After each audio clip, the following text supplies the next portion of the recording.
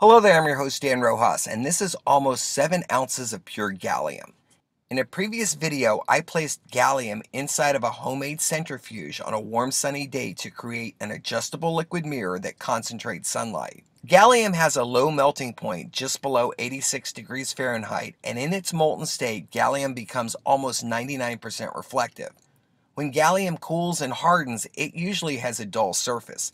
In this video, I will show you a simple method for obtaining a mirrored surface with solid gallium. While using a large Fresnel lens to melt gallium is a bit of overkill, it does work fast and, well, it looks kind of awesome. At about 100 degrees Fahrenheit, the gallium can easily be poured into a plastic tub without melting the plastic. If you want a mirrored surface when gallium hardens, you can forget about buffing it because gallium is way too soft. For a true mirrored surface, the gallium must be poured into a form that has an ultra smooth surface, like this blister packaging for safety goggles. The advantage of using a clear mold is visibly determining if the gallium will maintain a mirrored surface.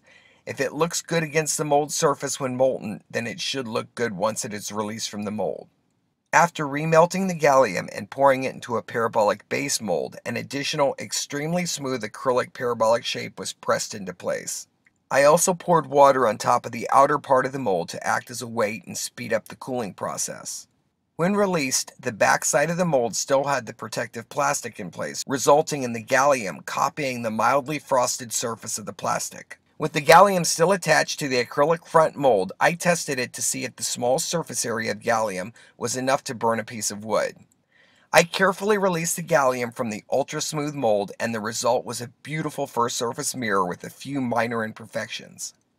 The pure gallium standalone mirror worked great as a small solar mirror. After a few minutes of sun exposure, the gallium began to warm up and the surface was soon ready for another project. While using gallium is very impractical for solar projects, it can be useful for large telescope mirrors where the gallium can be worked with in an ultra clean, temperature controlled environment. So if you need a great temporary mirrored surface, gallium is a great option. One note, the parabolic mirrors available on our website, greenpowerscience.com, are not coated with gallium. They are a true mirrored surface behind a UV resistant acrylic and designed for extended outdoor exposure and extreme conditions. I'm your host, Dan Rojas. Thank you for watching and enjoy our videos.